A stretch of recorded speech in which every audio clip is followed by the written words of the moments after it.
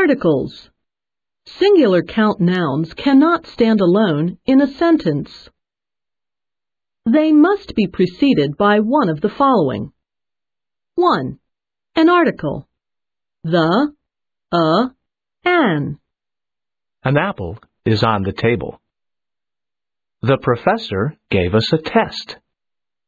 2. A number or quantifier.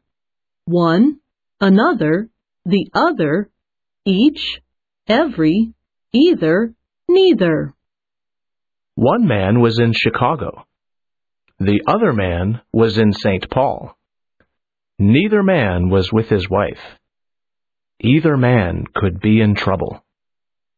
Note, never use the and another, each, every, neither, or either together. 3. This, that, some. This artist created that painting. Some woman came to see you.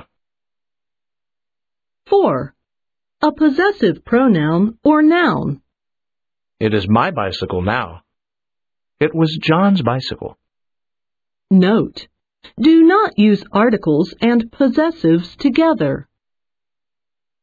Proper nouns have their own article usage.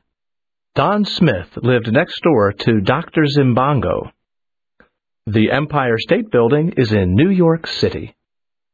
Non-count and plural nouns can be used without articles only in the generic sense. Cats are enemies of dogs. Water is essential for survival.